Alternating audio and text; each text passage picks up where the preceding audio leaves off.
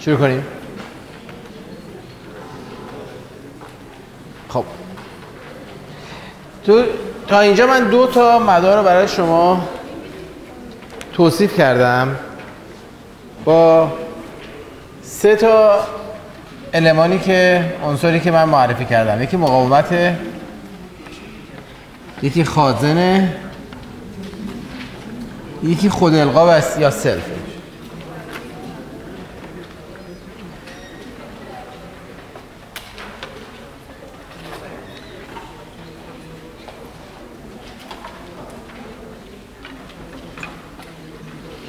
با منم دست می‌دید؟ با منم دست میدی؟ با همه می‌خوای دست بدی؟ خب.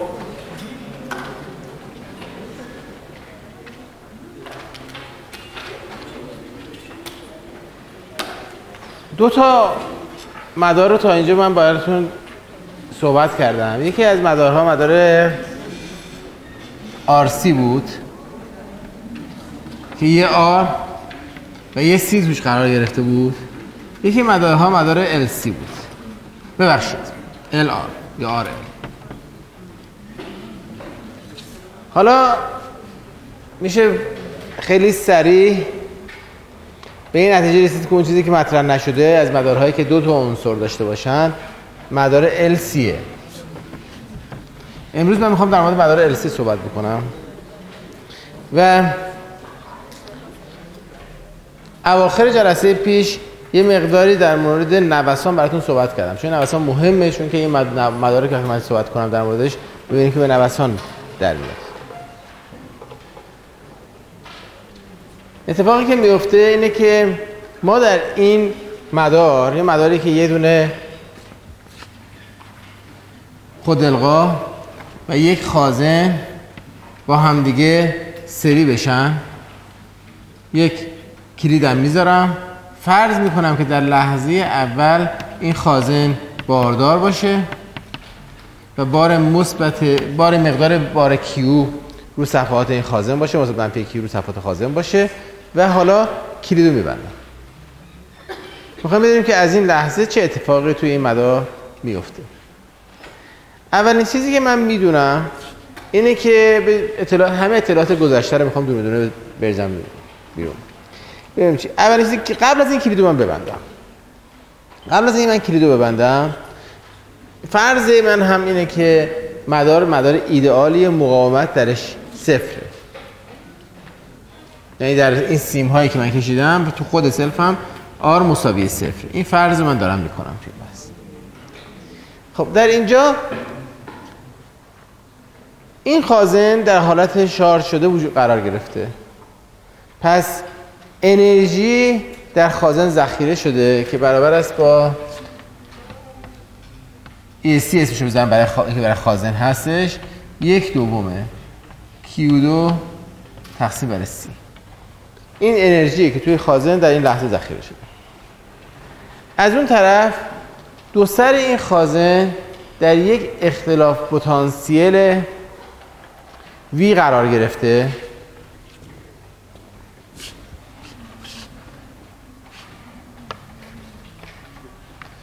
که برابر است با Q تقسیم بر C این در مورد خازن. چیزایی که در مورد خازن در وقتی که هنوز کلید رو نبستم من می‌دونم. در مورد سلف چه چیزایی می‌دونم؟ در این این سلف هیچ جریانی ازش نمیگذره. یعنی در این لحظه تی مساوی صفر همین بحث در مورد تی مساوی صفره در لحظه تی مساوی صفر جریان سیستم مساوی صفره. هیچ جریان از سیستم نباید بگذره. اگه جریان مساوی صفره تغییر جریانی هم در سیستم وجود نداره. مشتق جریان هم در این لحظه هیچ تغییراتی هم در سیستم چی خاص کلید قطعه هیچ تغییرات هم نداره. پس اختلاف پتانسیل دو سر سلف صفره. و از چون که جریان صفره انرژی داخل این خود القا برابر است که برابر است با یک دوم ال ضرب در آی دو این هم مساوی صفر.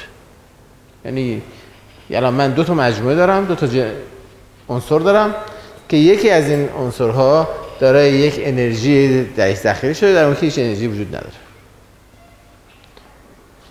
حالا اگه من این کلیدو ببندم طور شهودی ببینیم چه اتفاقاتی قرار بیفته سریعا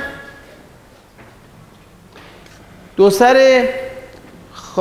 سلف ما به اختلاف پتانسیل خازن بس میشه. یعنی اینکه این دو سر الان در این اختلاف پتانسیل قرار می‌گیره همیشه این اختلاف این هستش این سیما چون بدون مقاومت هستن این دو نقطه با هم هم پتانسیل این نقطه هم هم پتانسیل هستن.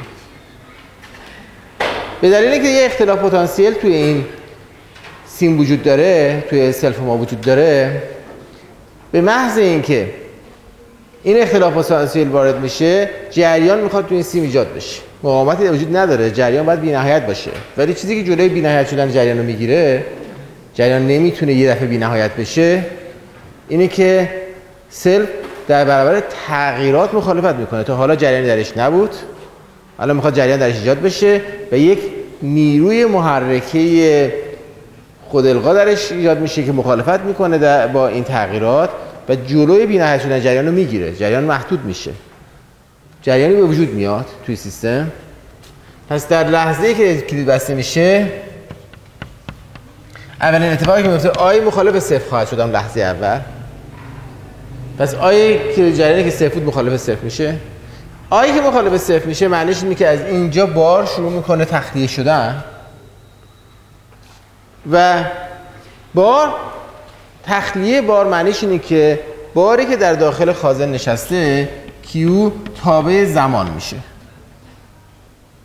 یک کیو تابع زمان خواهم داشتش و این کیوی که تابع زمان هست نشون میده که انرژی که در داخل خازن ذخیره شده برابر با یک دوم کیو دو تقسیم بر سی تابع زمان خواهد شد. بار شروع می‌کنه تخلیه شدن پس انرژی داخل خازن شروع می‌کنه تخلیه شدن انرژی کاهش پیدا می‌کنه. تخلیه انرژی در داخل خازن همراه با ایجاد جریانه. جریان الان مخالف صفر شدش جریان اگه مخالف صفر هست در داخل خود القای مقدار انرژی باید ذخیره شده باشه. این دفعه این مخالف صفر میشه. آی چون آی تغییر کرده آی الان مخالف صفر هستش. این اتفاق میفته ولی یه شرطی تو مسئله وجود داره. و شرطی که تو مسئله وجود داره اینه که من مقاومت توی مسئله ندارم. عنصری که انرژی رو تلف می‌کنه به صورت گرما از سیستم می‌تونه خارج بکنه مقاومته. فرض ایدئال من این بودش که این مقاومت وجود نداره پس انرژی در سیستم تلف نباید بشه. به این معنی که هرچی انرژی در خازن وجود داره به اضافه هرچی انرژی در خود القا وجود داره مجموعش باید برابر مقدار اولیه انرژی باشه که من داشتم. این مقدار اولیه. انرژی پس در خازن تخری... هیچ چیزی اینجا از بین انرژی از بین انرژی مکانیزمی برای طرف انرژی وجود نداره. مکانیزم طرف انرژی رو من فرض کردم با یه فرض ایدال سازی فرض کردم وجود نداره صفرش کردم. پس هیچ مکانیزمی ندارم که انرژی تخلیه بشه تلف بشه. از چیزی که من می‌دونم اینه که EL به اضافه ESC مساوی صفر. مساوی مقدار ثابتیه که مقدار ثابتی اسمش بذاریم بیایید اسمش بذاریم یو حالا فعلا. که می‌دونم من مقدارش چقدره چون این در این حالت اولیه این یکی صفر بود و این مقدار ماکسیمومش داشت پس اون برابر مقدار ماکسیموم خواهد بودش بیشینه مقدار انرژی. حالا اگر این اتفاق ادامه پیدا بکنه در یک جایی بالاخره با خازن بارش از دست میده. در یک زمان خاصی که من الان نمی‌دونم چه, وقتی این زمان خاص خازن باید تخلیه بشه. شروع کرده تخلیه داره سعی می‌کنه تخلیه بشه. و این خازن ادامه که بده بارش صفر میشه. یعنی به جایی می‌رسیم که کیو مساوی صفر میشه. کیو که مساوی صفر بشه معنیش اینه که انرژی ذخیره شده در خازن صفر شده.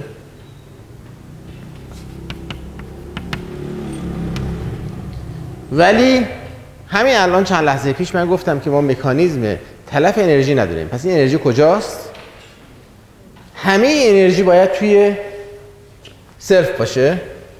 توی خودالقا باشه. پس تمام انرژی که من داشتم رفته توی خودالقا پس این ماکسیموم انرژی که می‌تونه خود داشته باشه. بیشتر از این دیگه نمی‌تونه داشته باشه. چون هر چی انرژی تو سیستم بوده همش رفت توی خود القا. به مقدار ماکسیموم خودش رسید. و چون که انرژی خود القا متناسب با آیدو هست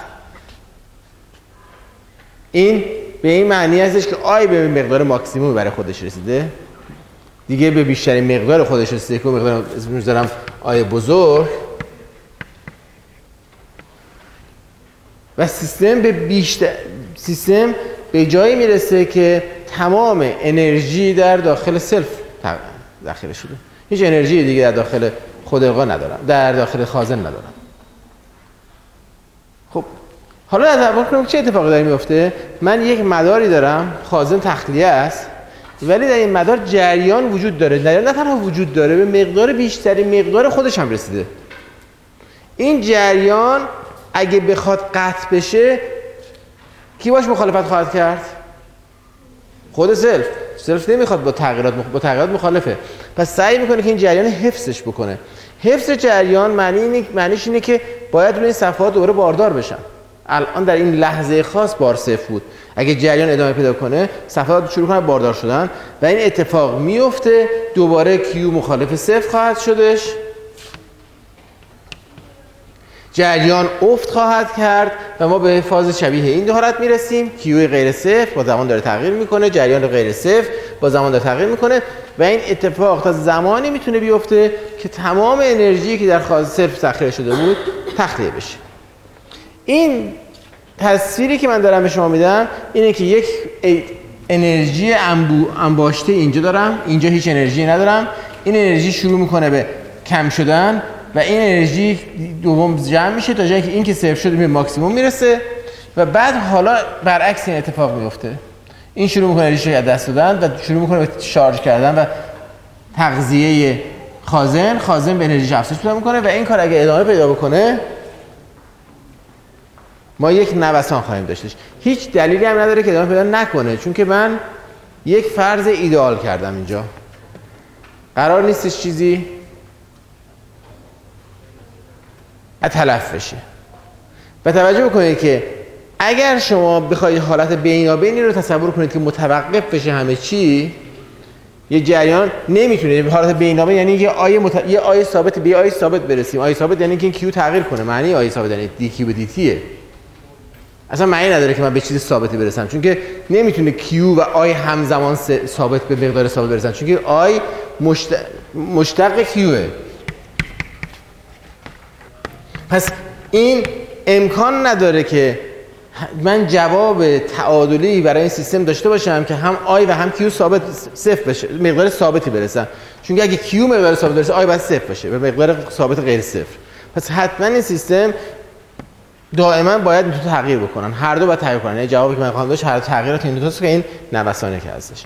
خب جلسه پیش من گفتم که این تصویر خیلی شبیه تصویر مثلا جرم و فنره در مکانیک کلاسیک یا مباحث در فیزیک یک خوندید من دوره برمیگردم به مثال مثال جرم و فنر. یه دونه جرم M دارم یه فنر با ثابت K دارم اینها به همدیگه بسته شدن و من در لحظه اول جرمو می‌گیرم میکشمش به یه جایی قرارش میدم بعد ولش می‌کنم از اون لحظه اول. در لحظه اول اتفاقی که میفته تو این سیستم اینه که چون که فنر جرم از فنر ساعت تعادلیش خارج شده یک انرژی پتانسیل توی فنر داریم که این که منظورم انرژی فنره منظورم با انرژی پتانسیل که حالا چیز با شکلی که توی فیزیک یک داشتیم. یو انرژی پتانسیل ماست هستش یک دوم k x2 وقتی که من فنر رو جرمو ولش می‌کنم در ابتدای داستان در اون لحظه اول این سیستم هیچ سرعتی نداره. پس انرژی جنبشیش یک دوم m v2 مساوی صفر. چون سرعت صفر در لحظه. و در اون لحظه x به مقدار ماکسیموم خودش رسیده. بیشترین جابجایی ما برای x خواهیم داشتش. وقتی ولش من می‌کنم از x کاسته میشه انرژی جم... پتانسیل فنر کاسته میشه. همزمان باهاش فنر شروع می‌کنه شتاب گرفتن انرژی جنبشی فنر افزوده میشه. به این نقطه تعادل که می‌رسیم این عبارت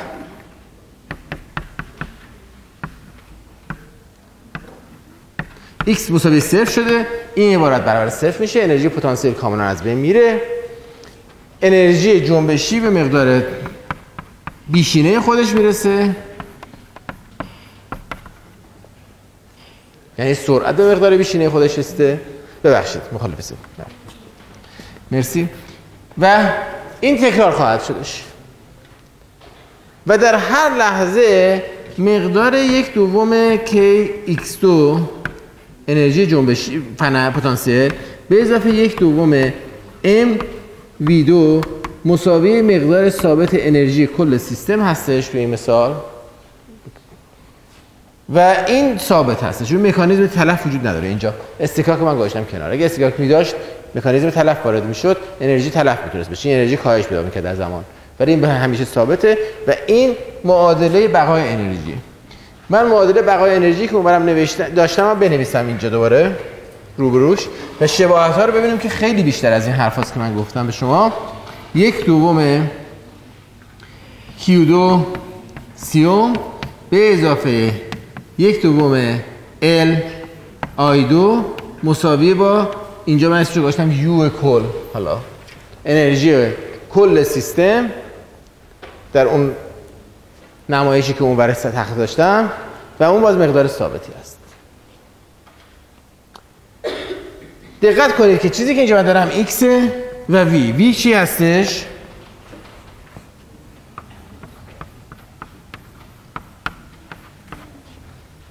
dx به dt چیزی که اینجا دارم q و i i هستش دیه q به dt الان شباهت خیلی واضح تر شدش به این حالت تو حالت. اینها در حقیقت دو معادله که فقط نمایش ما عوض شده. اسم Q رو من گذاشتم تو اینجا X.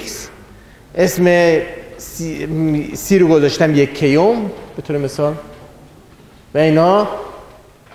از نظر معادلات معادله که من باشون در سر کار دارم دقیقا معادله یکسان هستن. پس انتظار دارم که فیزیک یکسان داشته باشه. یک معادله قبلا گفتیم که معادلات دیفرانسیلی که شما سر کار دارید همیشه جواب یکتا دارن. اگه دو تا معادله مثل هم هستن فیزیک یکسانه. این در واقع شما یه مقداری دارید حد ریاضیات اطلاعات ریاضی خودتون بالا می‌برید در گذشته یاد گرفتید وقتی دو به اضافه دو مساوی چهار میشه مهم نیست دو چی باشه سیب باشه پرتقال باشه. الان چون که ریاضیات تجدیدیه الان من دارم به شکل معادله ای بهش نگاه می‌کنم. این معادله و معادله یکی هن. جواب ها یکسان دارن. مهم نیست که این Q باشه یا X باشه. جواب این دو تا معادله باید یکسان باشه. پس من همون کاری که برای حل معادله قبلا کرده بودم اینجا می‌تونم انجام بدم برای حل معادله. توی این مبحث ما اومدیم برای این معادله رو واقعا حل نکردیم. اگر که به کتابتون در بخش های مکانیک مراجعه کنید یا به نوتاتون نگاه کنید تو ترم پیش می‌بینید که این معادله رو حل نکردیم. ما معادله نیوتون رو حل کردیم. این معادله بقای انرژیه. ولی توی فیزیکی یاد گرفتید که بقای انرژی و معادله نیوتون معادلاتی که از همدیگه به دست میان. یعنی اینکه من الان اگه از این معادله یک بار نسبت به زمان مشتق گیری کنم جوابی که خواهم داشت اینجا بنویسمش. میشه k x dx به dt جمله اول. به اضافه m dx به dt ضرب در d2x به dt2 مساوی صفر. این مقدار ثابت بود زمان بستگی نداشت. تغییر نمی‌کرد. یه دونه dx به dt فاکتور می‌گیرم که میشه سرعت. میشه k x به اضافه m d2x به dt2 مساوی صفر. سرعت که همیشه صفر نیست پس می‌تونم با خیال راحت بذارمش کنار. اون چیزی که باید صفر باشه همیشه تا این معادله بتونه اتحادی مساوی صفر باشه. حتما این پرانتز هستش. و این چیزی نیستش بغیر از معادله نیوتن. M A مساوی منهای KX که برابر نیرو بودش. M A برابر منهای KX در واقع معادله نیوتن و معادله انرژی از همدیگه به دست میاد من اگه از معادله نیوتن انتگرال بگیرم معادله انرژی رو خواهم داشتش این معادله بود که من جلسه پیش برای شما سر کلاس حل کردم. تو کتابتون برای شما حل کرده این معادله رو. خب من الان می‌تونم همین کار رو اونجا هم انجام بدم. می‌تونم بنویسم از طرف این معادله مشتق بگیرم. با یک شباهت با اون می‌تونم به دست بیارم که یک سیوم Q یا Q سیوم به اضافه L D2 Q به DT2 که این در واقع جمله دوم این Q سیومه به اضافه L دی آی به دی تی مساوی صفر حالا این معادله چیه؟ معادله معادله برای معادله معادله نیوتن در اینجا چیه دست آوردم من؟ معادله اختلاف پتانسیل هاست. Q سیوم اختلاف پتانسیل خازن. گفتیم همیشه باید برابر اختلاف پتانسیل خود القا باشه که برابر با منهای L دی آی به دی تی. این معادله معادله جای معادله نشستش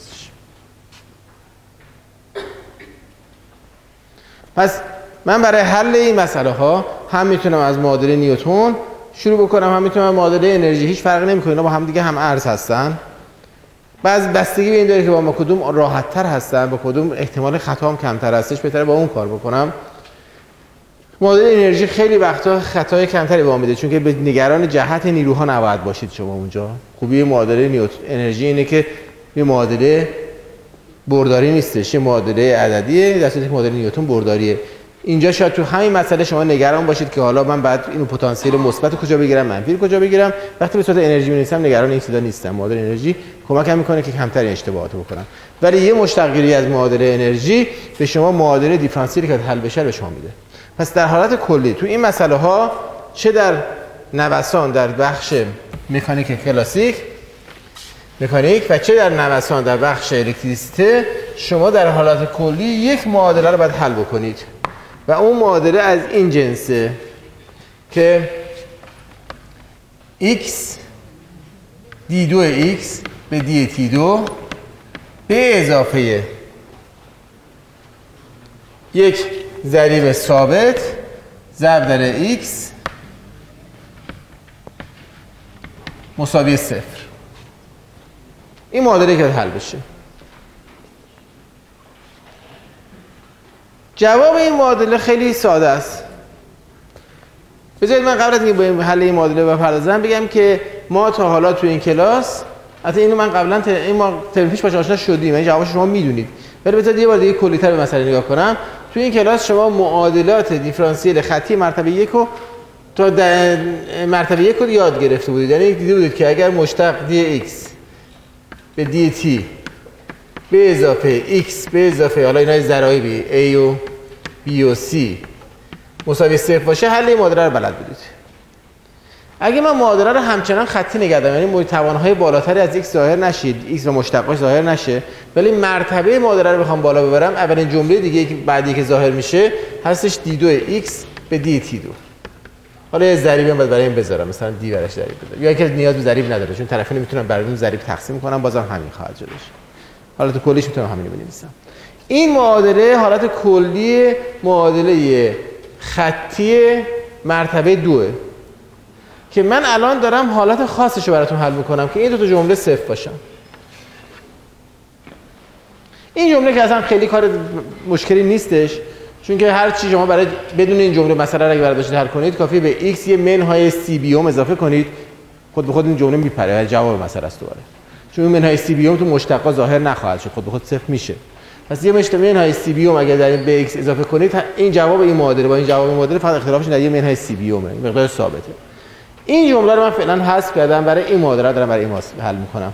بعد برمیگردم حالت کلی حل این معادله رو براتون خواهم گفتش. در واقع شما یک معادله درجه تا اینجا رو بلد بودید حل کنید. این اگه یاد بگیرید معادله خطی درجه دو هم یاد جوابش می‌دید. و خوبیش اینه که این جواب ها گفتیم جواب های منحصر به فردن یعنی اینکه جواب مسئله این معادله یه جواب بیشتر نداره. مثل معادله درجه دو که خطی که جبری که شما می نوشتید و می گفتید که جوابهاش هستش دو, دو تا جواب داره نمی‌دونم ای مثبت منفی رادیکال فلان. اینجا هم دو تا جواب داره. جواب رو من قبلا به شما گفتم چی هستش. در مورد این معادله وقتی که این جمله وسط نباشه جواب خیلی جواب ساده است. من می‌دونم جواب چیه. همین الان با این توصیفایی که کردم می‌تونم حد بزنم جواب چیه. جواب نوسانه. و نوسان شکل سایه شکل نوسانی که من دارم یک جمله سینوس یا کوسینوس باید باشه. پس x برابر باید باشه. یه x مقدار ثابتی.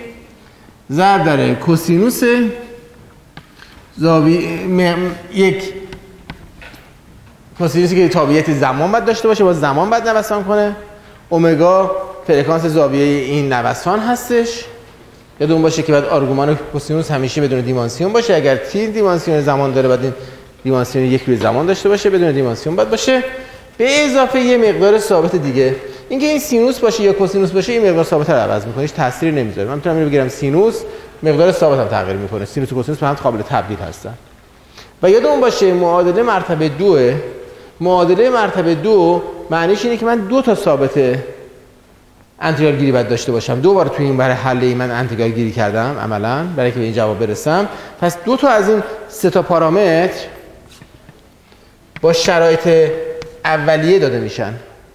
بدون شرط اولیه من سه تا از دو تا از اینا رو نخواهم داد یکیشون رو می‌تونم الان با امتحان جواب توی معادله یکیشون رو می‌تونم تثبیت کنم.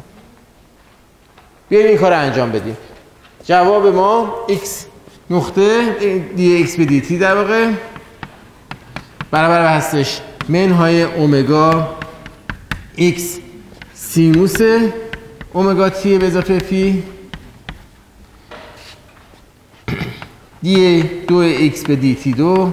مساوی شما منهای اومگا دو. ایکس کوسینوس اومگا تی به اضافه فی و این مقادیر رو توی معادله اول من قرار بدم. نتیجه میشه منهای اومگا دو ایکس کوسینوس اومگا تی به اضافه فی. به اضافه A ضرب در x x کوسینوس اومگا تی به اضافه فی مساوی صفر. X که از طرف فاکتور می‌گیرم میپره توی مساوی صفر. از کوسینوس اومگا تی فاکتور بگیرم مقدارش میشه a منهای اومگا دو در کوسینوس اومگا تی به اضافه فی مساوی صفر. این بعد به ازای تمام تی ها همیشه این رابطه درست باشه. این که دائما داره تغییر می‌کنه بس نمی‌تونه همیشه درست باشه. این به یه جا می‌تونه تثبیتش کنم من این کوسینوس مساوی صفر بشه. به ازای تی خاص. پس اون چیزی که همیشه می‌تونم تنظیم کنم که صفر باشه این عبارته. از اینجا اومگا برابر در میاد برابر رادیکال A. یا A برابر اومگا دو. این معادله رو بعضی وقتا ما اینجوری برای همین می‌نویسیم که دیگه خیلی اون راحت باشه. این ضریبو همینجا میذاریمش اومگا دو. می‌دونستیم این ضریب هم باید دیمانسیون عکس زمان به توان دو داشته باشه چون که اینجا x و x هم دیمانسیون دو, دو بار مشتقات زمان گرفته شده. بس این دیمانسیون عکس زمان به توان دو داشته باشه که خبر داشتم به این این اومگا میشه دوره تناوب من رو تعیین می‌کنه. یعنی اینکه این مسئله جواب این مسئله به من میگه x با زمان رفتار تناوبی داره. اگه فی رو من بدونم مقدارش چقدر هستش برای اینکه بدونم مقادیر اولیه رو بدونم. در لحظه تی مساوی صفر باید بدونم x چه مقداری داره. و این کافی نیستش. باید تغییراتش هم در واقع بدونم. یعنی بدونم در اون لحظه تغییرات هم چگونه هستش هر دو اینا مشخص بشن. اگر مثلا این از مقدار فی مساوی صفر شروع بشه در تی مساوی صفر این مقدار برابر یکه از x ماکسیموم شروع می‌کنه کوسینوس میاد پایین به همچین شکلی میشه. این دوره رو بهش میگیم دوره تناوب یا یک باشید یک پریود تی و معنیش اینه که کوسینوس اومگا در صفر برابر کوسینوس اومگا در تی باید باشه. و من می‌دونم که وقتی این اتفاق میفته که اومگا تی در تی بزرگ اومگا در تی بزرگ باشه برابر دو پی باشه. از اینجا دوره تناوب برابر میاد به دو پی اومگا اوم. و فرکانس که عکس تی هستش هم به دست من میارم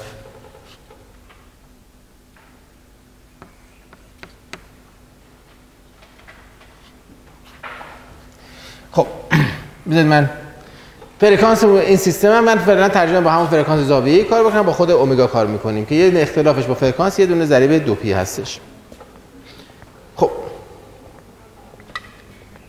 این حرفایی بود که من در مخصوصا بردم در به شکل یک معادله دیفرانسیل برای x نوشتم که بگم که آقا این x رو اگر شما بدونید این معادله رو حلش برات باشید این حل رو هر جایی که باش برخورد کردید استفاده کنید.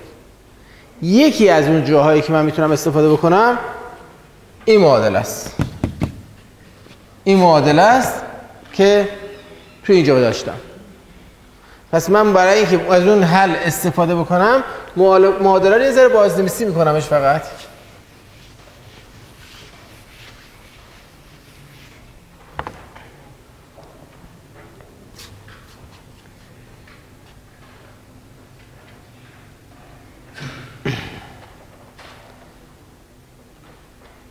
معادله رو اینجوری بازنویسی می‌کنم که بنویسمش دی دو کیو به دی تی دو به اضافه الا از ال فاکتور می‌گیرم میاد پایین.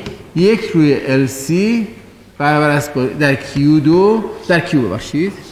مساوی صفر. این معادله ماست. با این مقایسهش می‌کنیم. جوابش من می‌دونم. جوابش این است که کیو باید یک کیوی باشد در کوسینوس اومگا تی به اضافه فی و اومگا برابر است با یک رادیکال سی مسئله حل شد. نه اگه من بلد باشم اون معادله رو حل کنم فقط کافیه که به معادله رو به دست بیارم. معادله رو دست بیارم مثلا حلش دیگه فقط جایگذاری می‌کنم. اگر مثالی که زدم رو بخوام استفاده کنم که در واقع در لحظه تی مساوی صفر کیو در ماکسیموم خودش بوده؟ یعنی کوسینوس اومگا در ماکسیموم مقدار خودش بوده باشه در تی مساوی صفر در اون حالت خاص فی مساوی صفر بوده. این حل فی به دست میاد. مقدار کیو هم که از مقداری که مسئله به من گفته شرط اولیه در لحظه اول چقدر بار داشته توی این خاز داشتیم توی این خازه؟ دست و مسئله حل شدش. کیو؟ در هر لحظه پس این برای هر لحظه دیگه درسته. این داستانی که من برای لحظات اول بینابین بعد از یه دوره تنس دوره تناوب اینا می نوشتم همه چی دیگه الان من حال کلی دارم. ازش مشتق بگیرم جریانم خواهم داشت.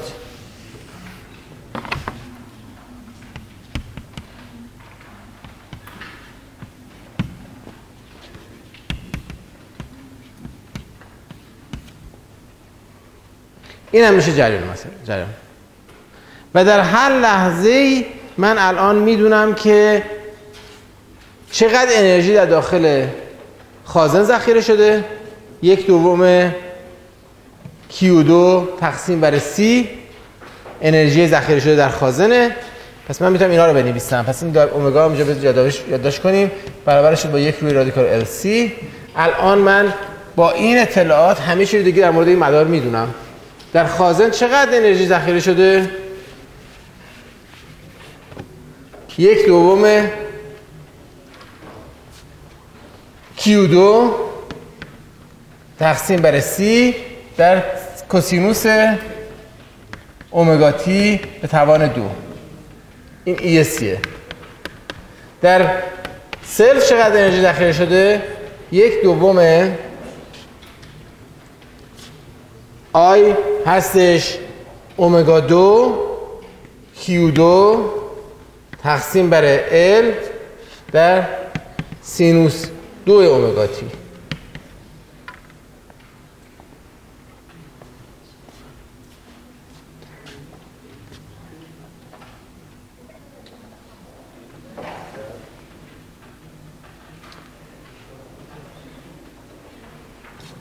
ببخشید ال در زرد بشه مرسی. دنبال همین میگشتم به جای اومگا دو هم من می‌تونم از این رابطه که نوشتم بذارم یک روی LC در حقیقت این رابطه برابر است با یک دوم به جای یک روی LC بذارم میشه Q2 تقسیم بر C دوباره. کوسینوس 2 اومگا تی. سینوس 2 اومگا تی مرسی. و اگر جمع بزنم دو تا انرژی رو با هم دیگه یک دوم کیو دو تقسیم بر سی در هر دو مشترک فاکتور بگیرم. سینوس دو به کوسینوس دو مساوی صفر میشه. و این برابر خواهد شد با انرژی کل. برابر میشه با یک دوم کیو دو تقسیم بر سی. اون چیزی که از قبل می‌دونستم. انرژی کل سیستم برابر اون انرژی اولیه است توی خازن ذخیره شده چون که هیچ وقت قرار نیست تلف بشه. همیشه این مقدار انرژی کل سیستمه. انرژی کل سیستم همیشه این مقداره. و همه اطلاعات در مورد این مدار من دیگه دارم.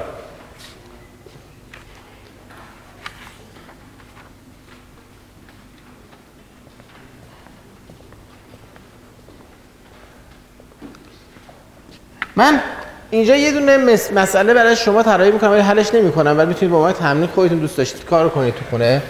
ولی چون که بعضی وقتا سوال می‌پرسی پرسیده میشه توی که این چه اتفاقی براش میفته؟ مسئله معروفیه. الان می‌تونم بهتون کمک بکنم که بگم چه اتفاقی داره میفته تو این سیستم. مسئله معروفی هستش که خود شماها بعضیتون از من اومدید سوال کردید و من گفتم در آینده در موردش صحبت می‌کنم. اینکه دو تا خازن داریم و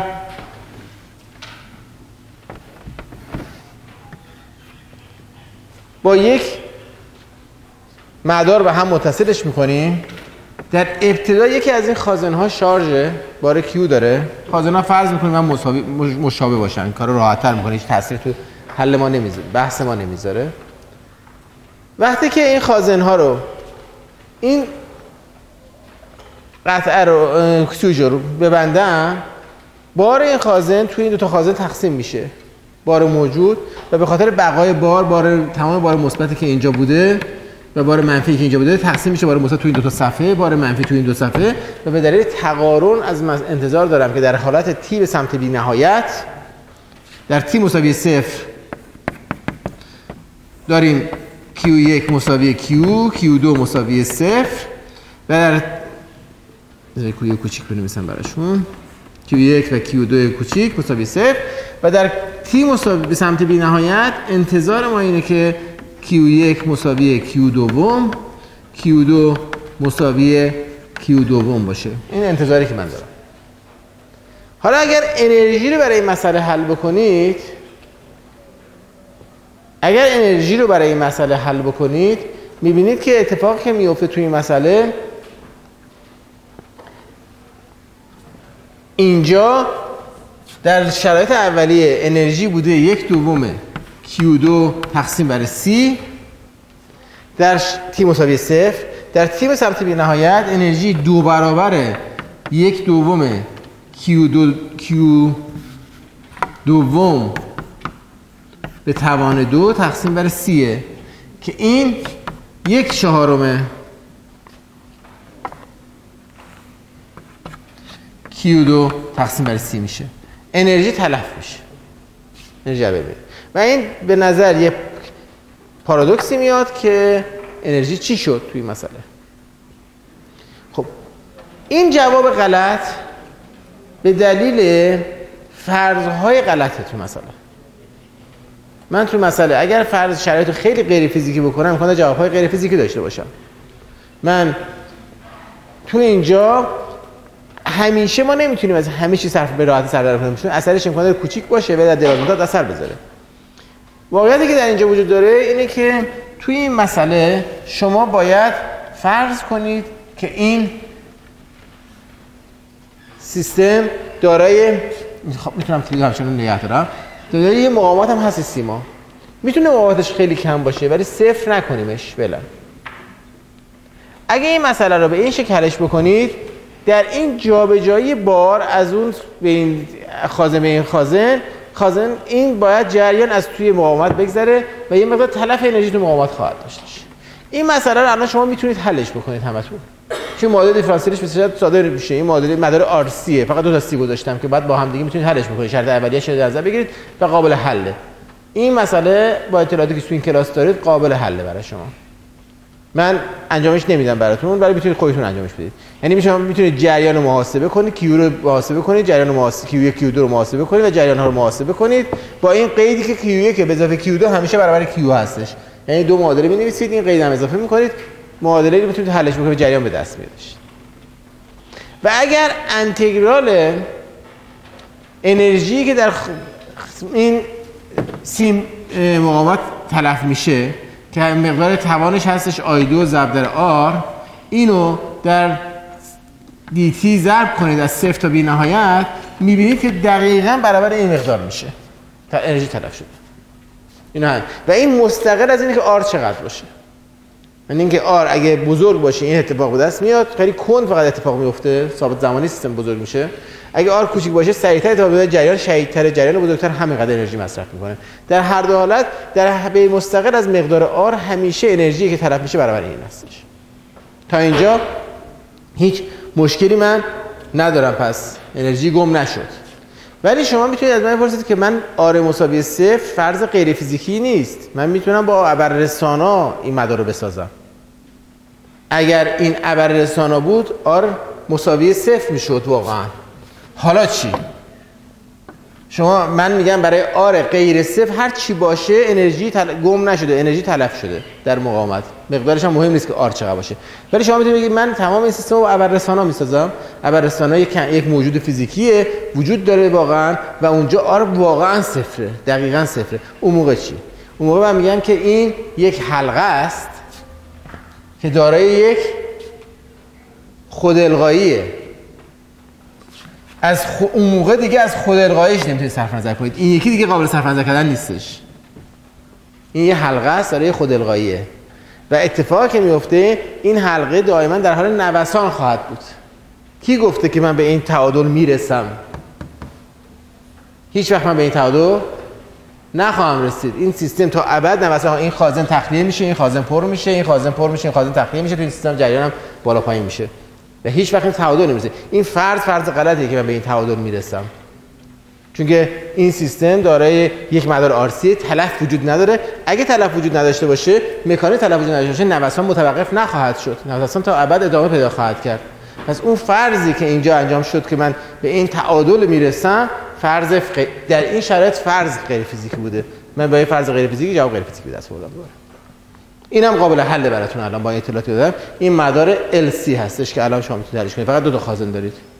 با اون قیدی که باز Q1 مساوی Q2 مساوی یک مقدار ثابتی هست قابل حل برای شما. من حلشون نمی کنم اینا رو چون که خیلی انتظار ندارم که در واقع کم یه ذره به محاسباتش کم پیچیده از محاسباتی که تو این کلاس من انتظار شما دارم ولی قابل حل با اطلاعات شما. می‌تونید خودتون اگر علاقمند هستید انجامش بدید. ولی این پاسخ سوالیه که زیاد از من پرسیده شده بود توی وقت‌های بعد از کلاس توی اتاق که من قول داده بودم که وقتی زودتر در آینده براتون توضیح بدم.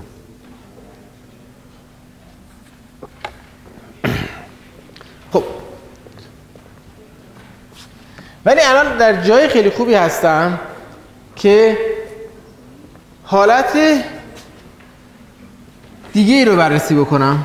حالا بذارید این یکم حذفش بکنم. حالتی که تلف داشته باشم واقعا.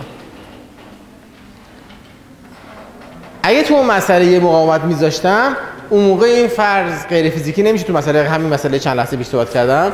اون موقع ولی بقای انرژی نباید داشتم بس مشکلی نبود تلف انرژی مشکلی نبودش.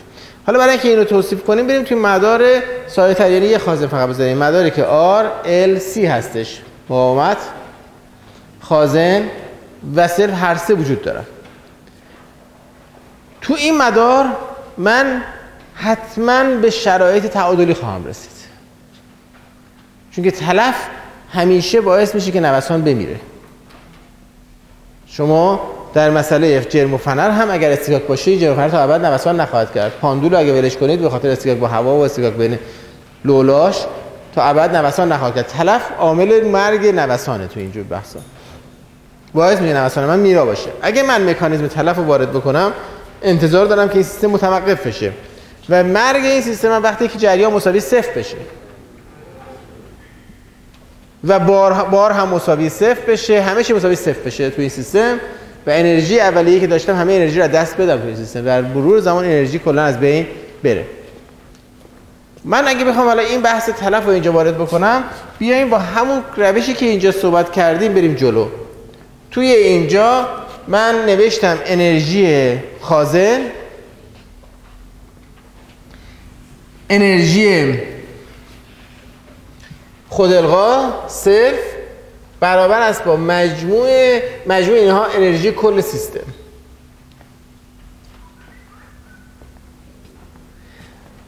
انرژی کل سیستم. از طرفین این رابطه مشتق گرفتن نسبت زمان.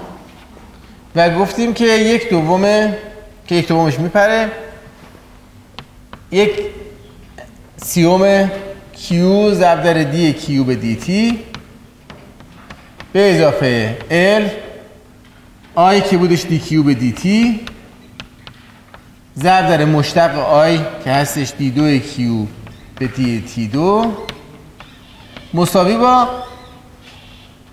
دی یو به دی تی. از طرفین من مشتق گرفتم. و تا زمانی که سی مکانیزم تلف وجود نداشت تا زمانی که مکانیزم تلف وجود نداشت اون جمله سمت راست صفر بودش. یو مقدار ثابت بقا داشت. حالا تلف وجود داره توی سیستم. یو بقا نداره. چقدر انرژی تلف میشه در هر لحظه؟ توان تلف شده در مقاومت. برابر است با آی دو ضرب در آر. پس این طرف برابر است با این در واقع تغییرات یو انرژی در واحد زمان بود که معنیش همون توان انرژی گرمایی که مقاومت برام میده که آی دو ضرب در آر و منفی به خاطر داره کاهش پیدا می‌کنه. تغییر یو کاهش پیدا می‌کنه. و من اگر بیارم اینا رو همه یه طرف اولا که آی برای این جمله آی معادل آی این جمله معادل آی. آیا از طرف یک آیشو بزنید؟ یه طرفین تقسیم بر ال می‌کنم. الم میره. و چیزی که به دست میارم دی دو کیو به دی تی دو به اضافه یک روی آر روی ال دی کیو به دی تی به اضافه یک روی سی دی خود کیو مساوی صفر.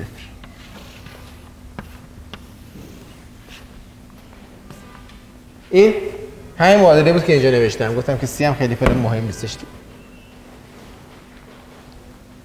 من الان یک معادله جدید نوشتم که بعد اینو حلش بکنم.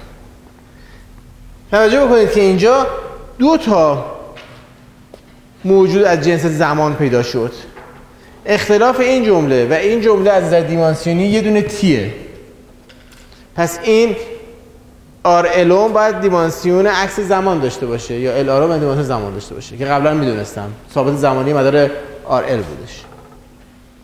از اون طرف این هم اختلافشون دو تا زمانه زمان به توان دوه پس ال سی هم باید دیمانسیون عکس مجذور زمان داشته باشه که اینم قبلا دیدیمش. اومگا رو به دست آوردیم برای رادیکال ال سی. توی این مسئله پس من دو تا موجود از جنس زمان دارم. این کمک مشکلی یاد می‌کنه برای من محل مسئله رو. برای اینکه تصویری در در در تصویری از مسئله. من در مسئله هایی که یک ثابت زمانی داشتم می‌تونستم حد بزنم که تلف با کمک این یک ثابت زمانی چه کار می‌کنه مسئله رو. مسئله با این ثابت زمانی افت بد بکنه. رفتارش به سمت تعادل بره. ولی وقتی دو تا ثابت زمانی دارم تصمیم گیری که چه اتفاقی قراره بیفته کار خالص نیست. چون میشه کمیت های زیادی از جنس زمان با ترکیب اینها ساخت و من نمی‌دونم کدومی که از اینا قراره تو سرکلهش ظاهر بشه در کجا. ولی حل این مسئله خیلی سخت نیست. برای اینکه به خاطر بسپارید کمکتون کنم به خاطر بسپارید این بهتون میگم که همون حل قبلی رو شما دارید.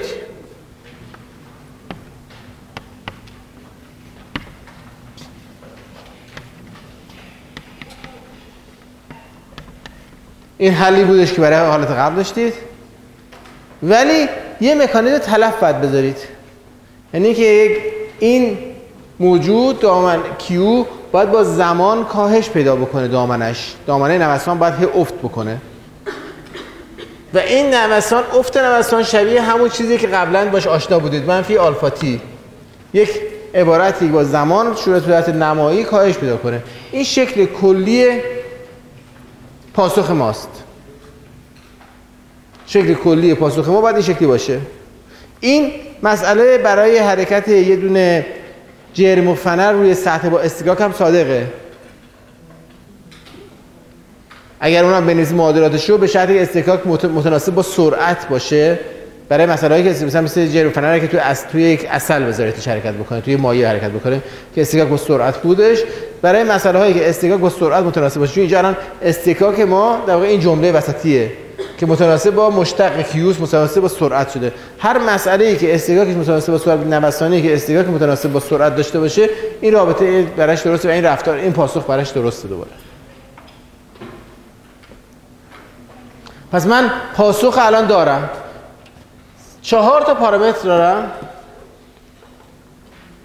دو تا از این پارامترها شرط اولیه میده معادله مرتبه دو هنوز. دو تا انتی ثابت انتگرال داشته باشه که من شرط اولیه به من بده. دو تا از این ثابت ها رو باید بتونم به دست بیارم. با جاگذاری توی مسئله. خب برای این کار باید من از این مشتق بگیرم و بذارم توی اون معادله.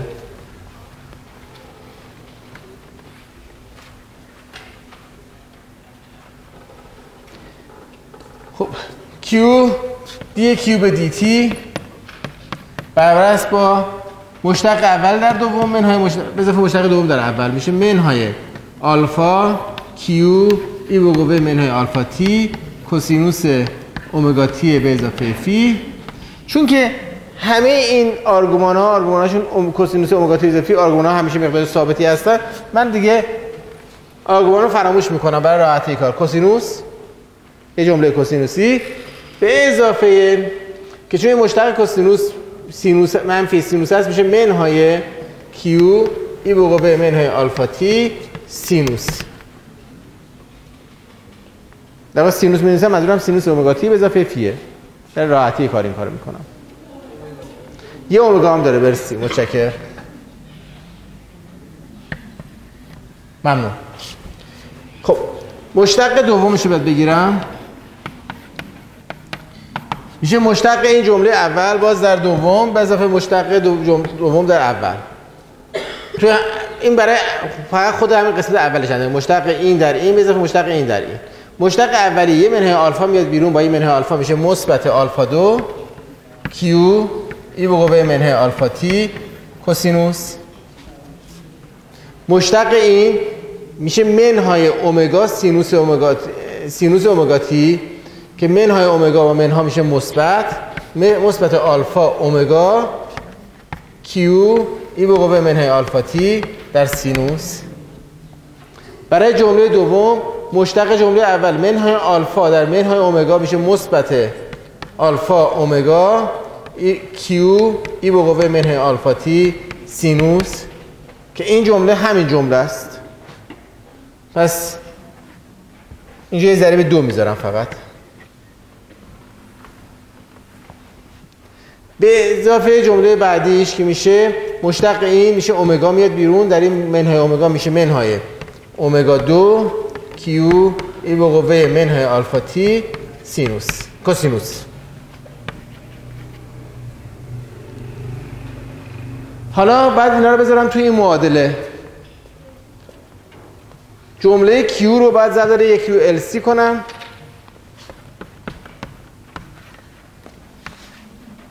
به اضافه جمله دی کیو به دی رو باید ضرب در یک روی ال بکنم.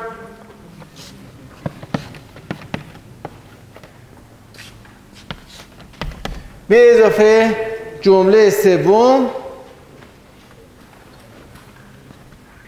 کلش مساوی صفر. این معادله منه. حالا می‌تونم از سینوس جملات سینوس و کوسینوس از همدیگه راحت جدا بکنم. جملاتی که ضریب کوسینوس دارن. کوسینوس اینجا. یه دونه یک روی LC ضرب داره کیو آن بذارید همین کمی سادهش هم بکنم. این مساوی صفر شد. توجه کنید همه این جمله ها یه دونه کیو دارن. کیو ها رو میزن فاکتور می‌گیرم مساوی صفر. Q هست شد. Q که برابر صفر قرار نیست باشه. همه این جمله ها یه دونه e به قوه منهای آلفا t دارن. اونم فاکتور می‌گیرم و حذفش می‌کنم. اونم که نمی‌تونه همیشه صفر باشه. حالا ببینیم چی خواهیم داشتش. جمله کوسینوسی رو نگه میدارم. جمله کوسینوس ضریبش هستش. این ضریبشه ببخشید آرگومانش نیستش. این آرگومانش رو ننوشتم. ضریب کوسینوس هستش. یک روی LC یه جمله کوسینوس اینجا دارم. ضریبش هستش منهای آلفا روی آر ال آرلو. یه جمله کوسینوسی اینجا دارم. ضریبش هستش به اضافه آلفا دو. یه جمله کوسینوسی اینجا دارم. ضریبش هستش منهای اومگا دو. به اضافه.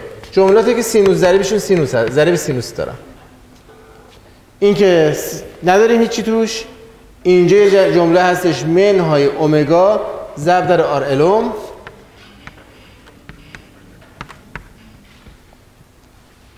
یه جمله سینوسی هم اینجا هستش هست به اضافه دو آلفا ضرب در اومگا. این مساوی صفر. این جملات همیشه باید مساوی صفر باشن این رابطه باید همیشه صفر باشه. و کوسینوس و سینوس که همیشه نمی‌تونن صفر باشن پس ضرایبشون باید صفر باشن. دو معادله دو مجهول دو تا مجهولی که می‌خواستم به من میده. دو تا ثابتی که بدن. دو معادله دو مجهول اینا رو مساوی صفر قرار می‌دید. اون دو تا ثابتی که بعد دنبالش میگشتم به دست میارم.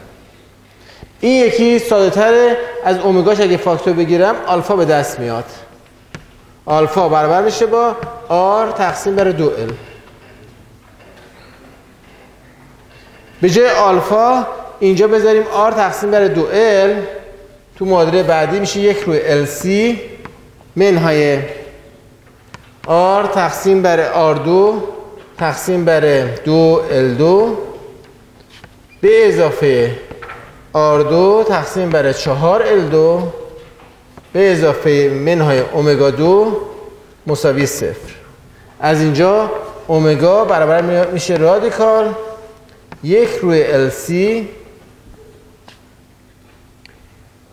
این دو تا عبارت هم که با هم دیگه ساده میشن میشه یک چهارم منهای یک چهارم آر دو ال دو. اومگا هم به دست من. پس مسئله حل شد. توجه برای اینکه سایتر تو ذهنمون بمونه یادمون باشه که یک روی سی فرکانس یه مدار سی بود.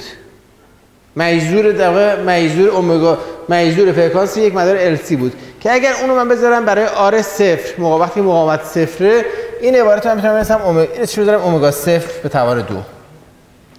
اومگا صفر وقتی که فرکانس برای وقتی که مقاومت صفره که قبلا به دستش آورده بودم. این عبارت هم بذارید بالا پاکش نکنم شما چی می‌خواستید؟ نقطه برداری بذارید بمونه اینجا. LC جلوش بنویسم. پس این میشه اومگا صفر به توان دو. این عبارت هم که همون آلفاست این هم منهای آلفا دو.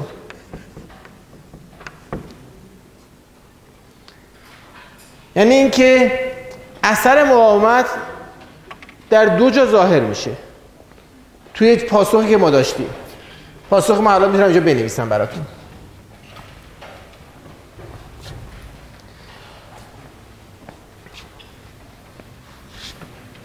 اثر مقاومت در دو جا ظاهر میشه. من Q رو برام دیگه جوابشو دارم. میشه Q.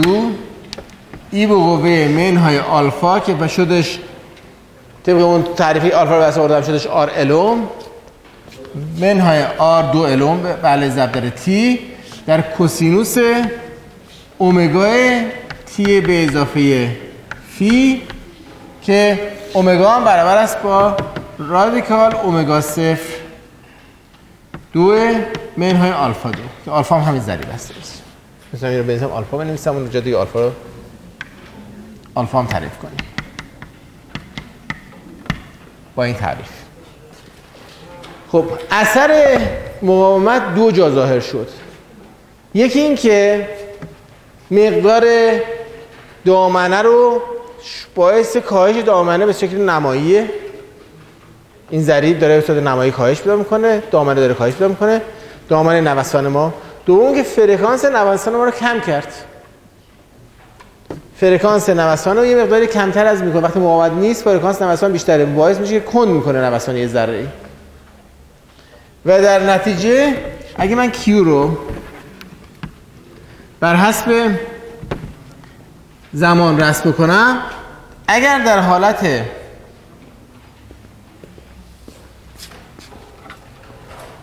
آره صفر. نکته دیگه هم دقت بکنید همیشه من میگم وقتی این مسئله رو حل می‌کنید حالت حدیشو بلدید نگاه کنید. اینجا الان حالت حدی مسئله اینه که آر صفر باشه مقاومت مسئلهش قبل میشه مسئله قبلی ما. این جمله میشه یک این جمله هم میشه اومگا هم, اومگا صفر میشه. همون جواب قبلی در میادش در حالت آر مساوی صفر ما یک حرکت نوسانی داشتیم.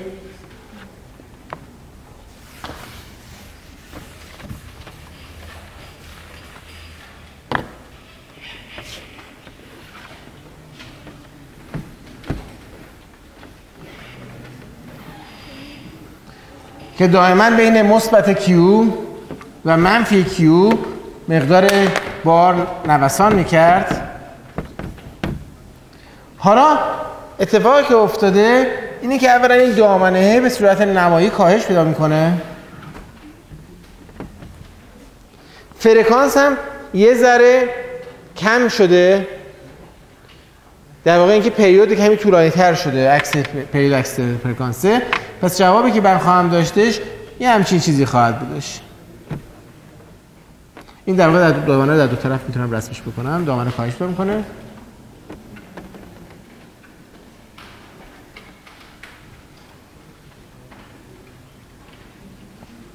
این یه حرکت نوسانیه که داره یواش یواش میمیره. و انتظاری که من داشتم همین بودش که حرکت نوسانی در نهایت بمیره به دلیل وجود مقاومت. و برای همیش میگیم حرکت نوسانی میرا. چون که محکوم به مرگ این حرکت نوسانی. یه نکته خیلی کوچیک اینجا من بگم که بتونم همینجا بحث دیگه تمامش بکنم. این که اگر آلفا خیلی بزرگتر, بزرگتر از اومگا صفر باشه اون موقع این پاسخ اشکال داره.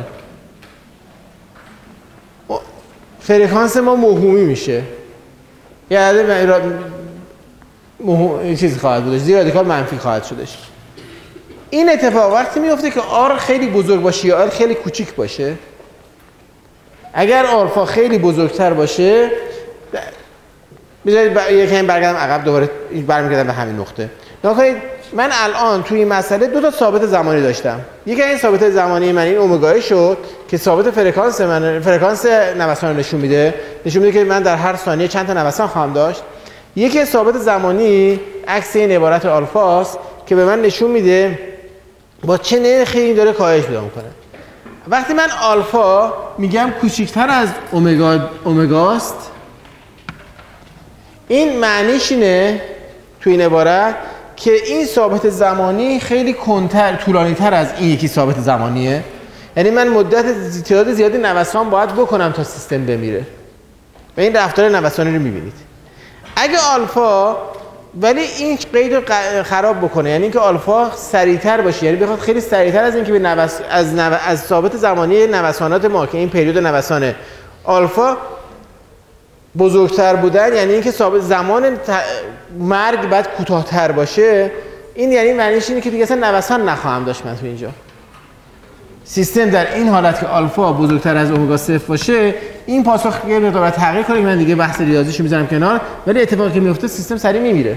یعنی از همون لحظه که ولش می‌کنید میمیره. مثال فیزیکیشو براتون مثال مکانیکیشو براتون بزنم. شما یه دونه آونگ دارید. این آونگ رو ولش می‌کنید ولی استکاک وجود داره.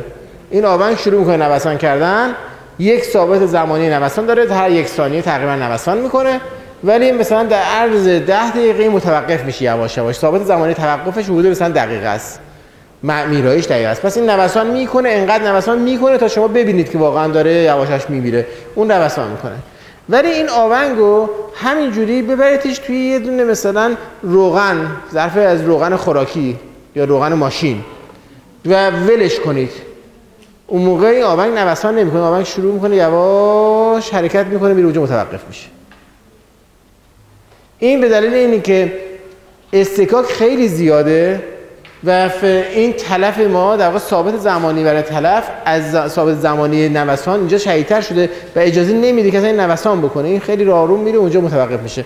پس این پاسخ فقط وقتی درسته که آر الوم کوچکتر از این آلفا کوچکتر از اومگا 3 باشه. در غیر این صورت اون حالت دیگه جواب دیگه است که من نوسان اصلا نخواهم داشتش. ولی من فرض دارم که اینجا نوسان داشته باشم. پس الان مدار RLC یک مداریه که دارای یک نوسانه. ولی این نوسان میرا میشه با میرایی که ناشی از مقاومت هستش. خسته نباشید. اگه سوالی هست بپرسید.